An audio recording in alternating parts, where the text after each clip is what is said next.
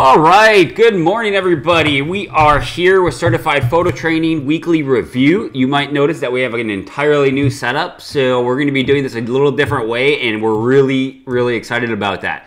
With that said, we're going to go ahead and dive right into the Certified Photo Training Weekly Review Birds in Flight Challenge. So here we go. All right, first up, we got Kathy. Um, Kathy, this is an amazing photograph. This definitely was cropped in. Um, you don't have your settings popped up, so it's hard for me to judge what you should do here. Um, uh, but I'm assuming you know better. You're probably at a really fast shutter speed here. I'm actually not seeing much panning going on, so you're probably above one thousandths of a second. Um, definitely a top-notch image. You're using the rule of thirds here, which is nice. Um, this is a great image get rid of that.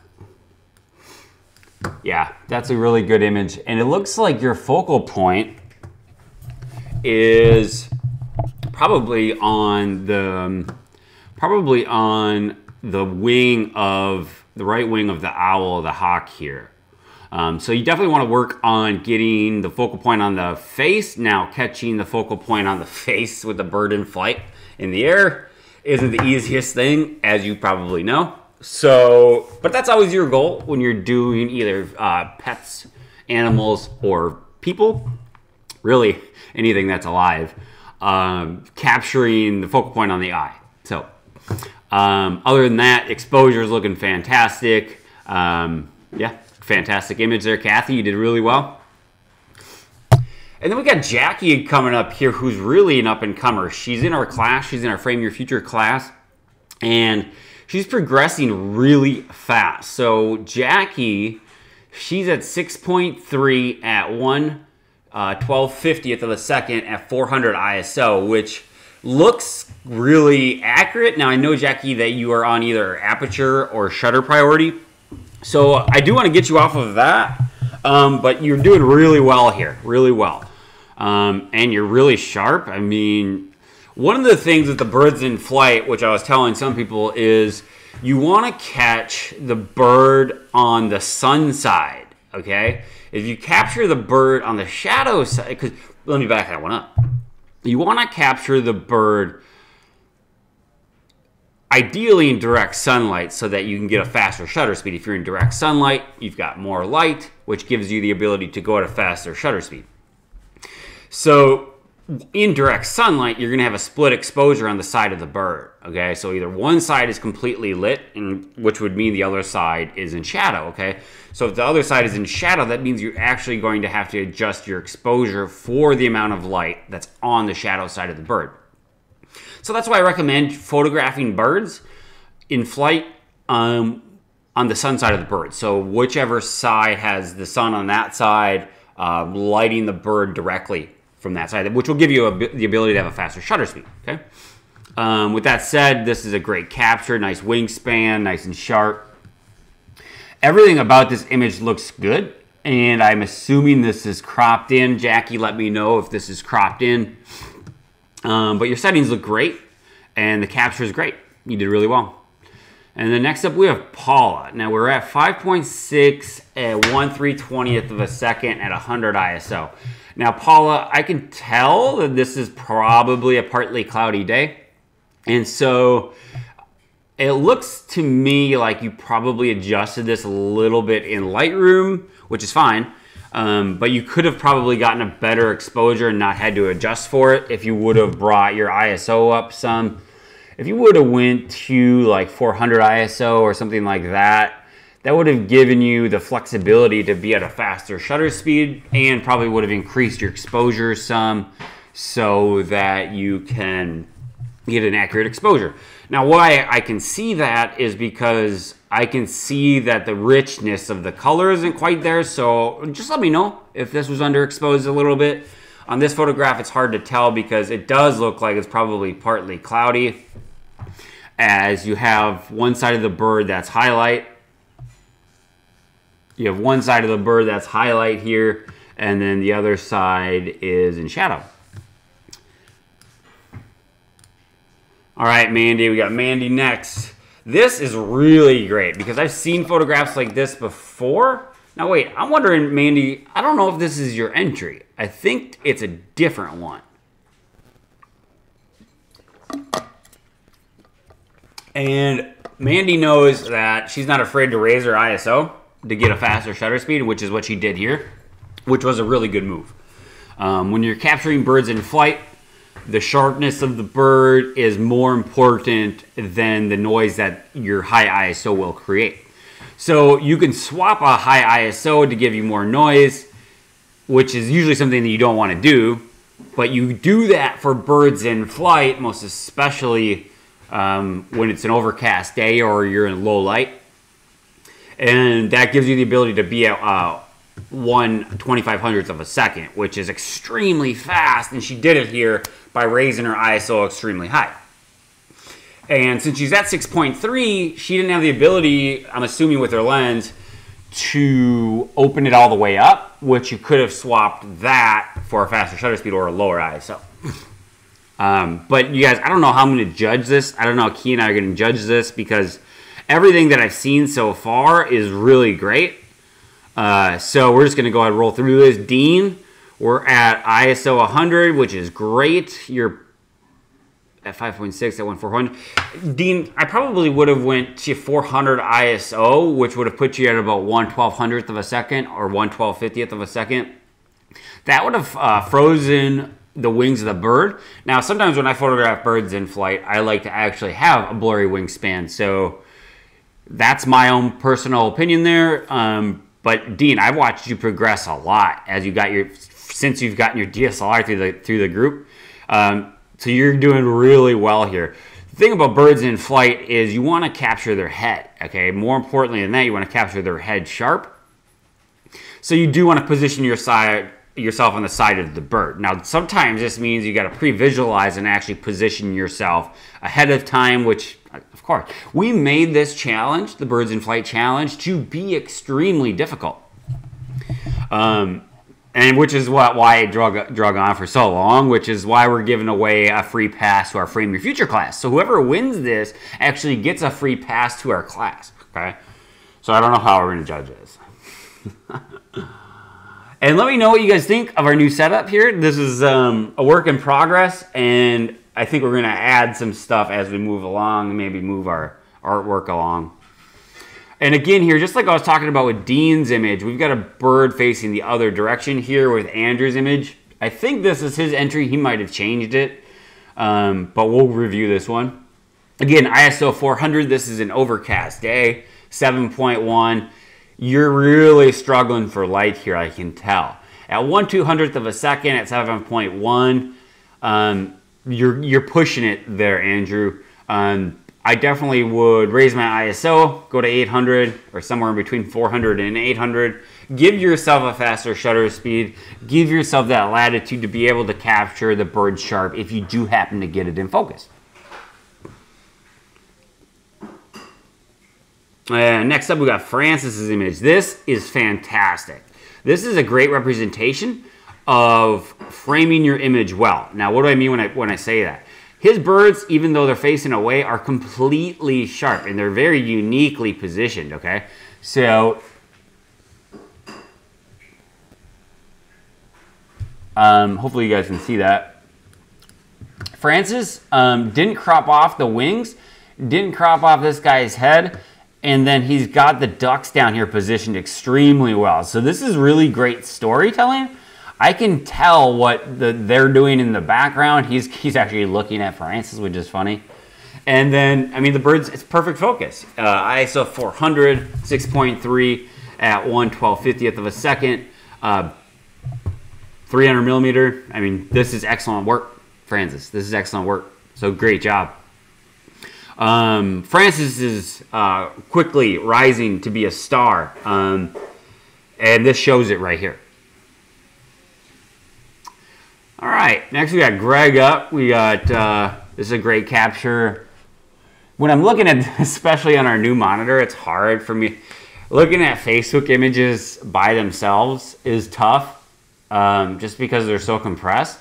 But now we've got those compressed files on an extremely large screen. So I've actually got them a little smaller just to be sure that I'm not getting more pixelation than necessary. So judging the focal point here is going to be tough. It does look sharp from here, but it does maybe look a little off. But without reviewing the original image, that's tough to say.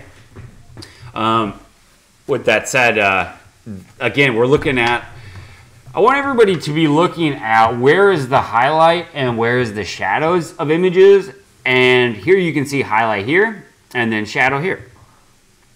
Um, and that's what you want to do is position yourself on the side of the bird um, that is lit directly by the sun. Photographing birds in flight is a lot easier in direct sunlight because you have more light. It gives you the ability to have a lower ISO and a faster shutter speed. With that said, Greg here is at 100, uh, 1 400th of a second, which is pushing it. I mean, birds in flight, you usually want to be probably a, I mean, depending on what bird you're photographing. Obviously, birds are going to change pace depending on which bird you're photographing and how fast they are flying, okay, and whatever they're doing. They might be landing, so they might be decreasing their speed. If they just took off from a perch, they're going to be accelerating, okay. So again, shutter speed really literally, literally means to match your speed of your subject. So if you're photographing like a motorcycle going by, you're going to be at a faster shutter speed to freeze it in motion. Um, Lisa, I, I, saw you uh, posting a lot of birds and flight images, and I remember this one coming through and thinking, you could have been, since I can tell the perches of the birds, and these birds are probably, probably flying pretty slow because it looks like they're probably in a feeding session. I would have probably swapped my ISO down a little bit brought my aperture lower and then kept it at 500. So you could have went to like ISO 200 and then um, f4 if you had it and kept it at 500 or something like that just to really bring out the richness of this color here. Um, and then, you know, I want to point this out to you, Lisa, because you may have a dust spot on your sensor right here. You may want to look out for this. You usually won't see dust spots on a sensor for most images, but you will see them when you have an image that has a, um, a background that is solid, more solid like you see here. And then the sunset is great and the silhouette is great. So this is really awesome. It actually tells a story. And what I really like about this image is you can actually see the ocean or the sea or the lake right behind here, which would have been cool if you could have actually raised up a little bit. I don't know where you were or what your situation was here, but if you could have raised yourself up a little bit, you would have been able to see more of the ocean behind you, and that would have really told more of the story here to me. All right, Janet, we've got um, we've got a red-tailed hawk at at Tims Ford Dam in Tennessee. So, great capture here. It's looking a little bit out of focus, or this could be cropped in from an original photo, which actually looks like it may be the case here. Let me know, Janet, if this is your photograph. Um, I mean, I know it's your photograph, but let me know if you were cropped in because it does look like you were at 400 ISO. I'm seeing a little bit more grain than normal. Um, other than that, I mean, you're you guys know I like to nitpick, right? So that's what I'm doing here. Uh, normally, if I saw this image come across, I wouldn't nitpick like this. But on weekly reviews, that's what we do here. Okay, we we pick them apart. So don't feel like if I say, "Oh my gosh, you cropped in, you shouldn't have done that," and take that never crop again. Okay, with this image, I can just tell that it's probably cropped at 300 millimeter, unless you were unless they were flying like directly over you. Um, but you're looking a little soft, but again, it's hard to judge that on Facebook files. So without looking at the original photo, I think this is cropped in a little bit, which is fine. Um, you're at two thousandths of a second, which is right. Okay, you should be doing that. um, depending on the speed of the bird, you did well. You did really well. Okay, I love to see this image come through. This was awesome. I had one. It looks pretty straight. Excuse me, guys. Um, This one tells a story to me. Okay, I really like this photograph because you know you can make up any kind of conversation you want between these two birds. Now we're talking about a birds in flight challenge. Holly, you focus right here, which kind of put this bird out of focus. If you, I mean, all your settings are right. I mean, your settings are perfect, but your focus is right here, and the bird is a little soft. Okay, which is fine. Um, I really like how you can tell that the feet are about to land on the perch of the birdhouse. Um, so I like the story that this tells. You know, again, a nitpick this one here, this little dome here is kind of cutting off the wingspan of the bird. So you can work, you know, that's not something you can really fix. Um, this is an amazing capture, okay? Great job here. Um, I would stick at this and um, track your birds. You know, you could be on autofocus continuous and track your birds. Tracking a bird this small, I know is not easy. But your settings are perfect. I mean, these are great. Your exposure is right on. The color looks good. Um, this bird here is extremely sharp. All right, Julie, we saw this one come through. In fact, Dan saw this come through and mentioned it, and he sucks at photography.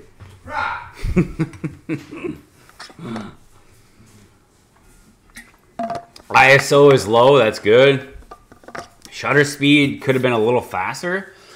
Excuse me, guys.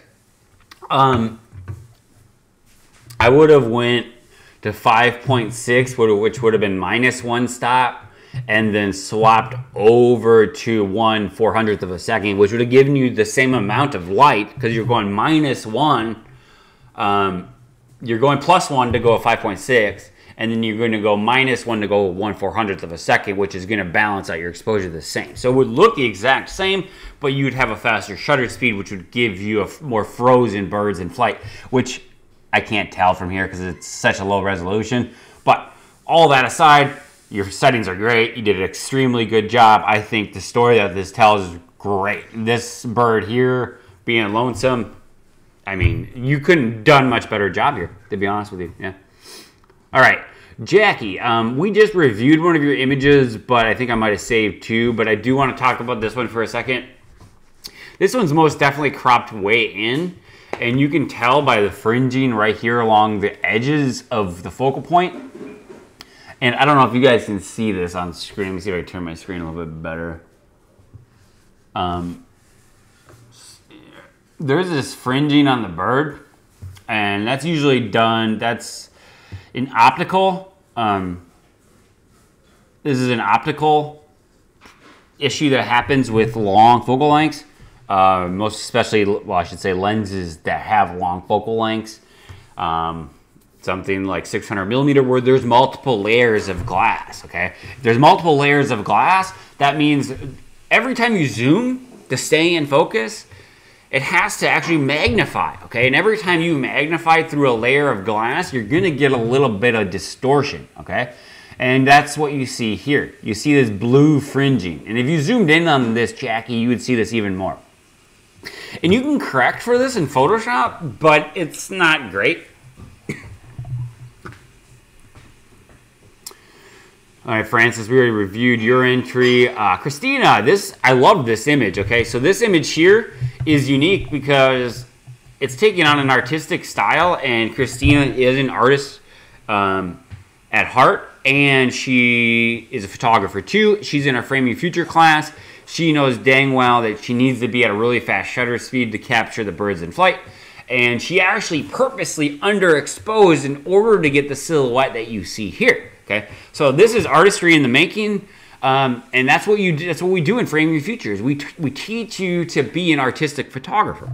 Okay, and then you've got uh, the sun peeking behind you. So when you look at this photograph, you actually kind of think, well, maybe this is like late in the at night or something like that, but it's not. This is during the day. Okay, this is an over. This is a partly cloudy, somewhat overcast day, and she's catching the sun right behind the clouds. You can actually see the circle of the sun right here right behind the clouds and then underexposed it intentionally to make sure that she's getting the birds and the trees completely uh, black, a completely a complete silhouette, which is what she did here.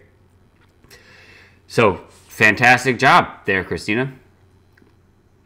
Andrew, this image really stood out to me because we've been talking about capturing the birds in flight. What time do you got to set up, Dan? Uh, no, we, I got 20, 25. Okay, so we got enough time. We're kind of sharing this computer right now, so he's got to set up for what he's got to do here in 25 minutes. So, Andrew, I saw this image pop through, and it really stood out to me because, like we were talking about, birds in flight is you do want to capture the head in focus, which again, it's it's like it's like hitting it's like hitting a bullseye, literally in the air with a subject moving. So it's not easy. Okay, so you do got to plan, pre-visualize, and even pre-select whatever type of mo- focusing mode you're using on the side of the camera that you want to capture the bird on. So it's not easy. Um, but he did it here. He did it here. The bird's head is completely sharp, and you can tell he's at 5.6 because the bird's wings are in front, okay, and, and, and they're slightly out of focus, okay, and that's what that bird is doing here. Um, and you nail it. I mean, I can see where he took off from, and the bird's head is in focus. And even though it was a dull, gray, murky day in Wales, he knew to raise his ISO to 640 to get a faster shutter speed, and I'm assuming he's using a lens that won't go any wider than 5.6. So he did everything right, nailed the focus, and this is definitely on a short list of winners. Andrew, you did a fantastic job. Oh, and not to mention the rule of thirds. Boom, right there on the exact rule of thirds, and I don't even think this is a crop. So, good job. Uh, Caroline Clarkson, a master of photography. Um, Caroline pretty much wins one of almost all of our contests in some way, first, second, or third, and it's for a reason. Again, I don't want to keep plugging our Frame Your Future class, but people in our Frame Your Future class master photography in months and not years, and that's what she did here. Just take a look at her settings. I mean, not only is this a gray, murky day in England, A great murky day.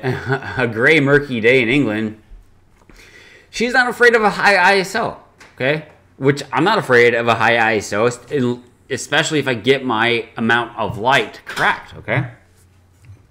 She's at 1000 ISO at one uh, 2500th of a second, which again is extremely fast, okay?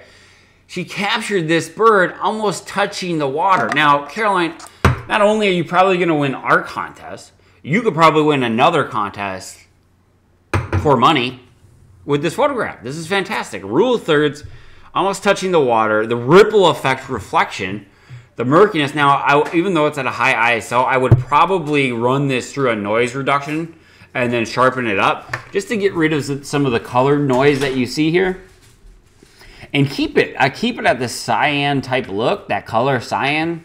It's not blue. It's more of a grayish blue, okay? I'd keep it there. And I'd reduce the noise a little bit, not a lot, and then sharpen it up. And then you've got an award winner. Oh gosh, what did I do? All right, Mariah, Maria. I never know how to say her name. I'm sorry. I'm gonna assume it's Maria. Um, not quite a bird in flight, but I can see what you were doing here. One four hundredth of a second.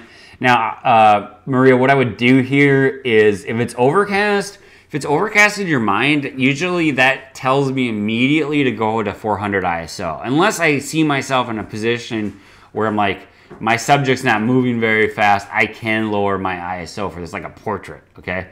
Um, for birds in flight, I definitely would swap, um, bring my ISO, my, my image sensitivity, my light sensitivity to 400, which is gonna increase the ISO, which would give me the ability to increase my shutter speed, which, you know, so if you go up in ISO, you're actually plus one, okay? and which gives you the ability to go to a faster shutter speed. So you'd be able to double double your shutter shutter speed to one eight hundredth, which is minus one. So that balances each other out, which would give you the same amount of light that you see here. All right, we already did that one. Misty Bernard, Fast Flying Birds Weekly Photo Challenge. She's at 800 ISO. She knows, again, she's in Frame Your Future. She knows to raise her ISO in order to capture a bird in flight sharply.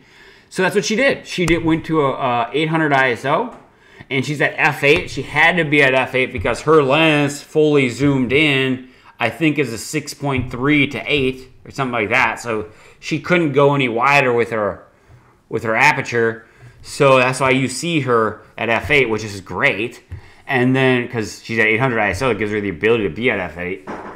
And then she's at uh, 112 50th of a second, which is why this bird is completely sharp. And not only that, but the bird's eye has a twinkle. Okay, this is a fantastic image. I might even buy this image for Misty, to be honest. This is fantastic. How excited is this bird to have a full peanut to itself? And then, and then, and then the wings.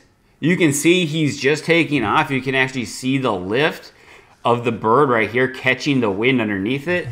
And then you can see all the little strands of the feathers on, on the blue jay here. I mean, just perfect image, just perfect. Just barely off the ground, almost touching, almost touching the deck here.